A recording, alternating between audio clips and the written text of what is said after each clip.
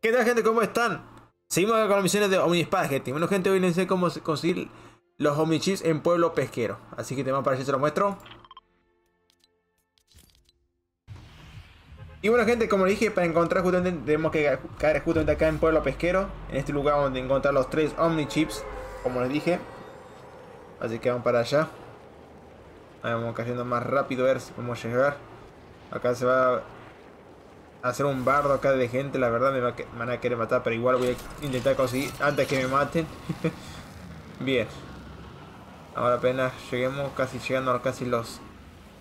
Bien, supuestamente acá ya... Ahí está, ya me pareció la, la primer Omnichip. Y está justamente en esta ubicación. Bien, ya tenemos el primero. Ahora vamos por el segundo. Supuestamente el segundo tiene que estar en, en estar en el otro lado del de acá del pueblo pesquero. A ver, vamos al otro extremo. A ver, a ver, tiene que aparecerme por acá, a ver.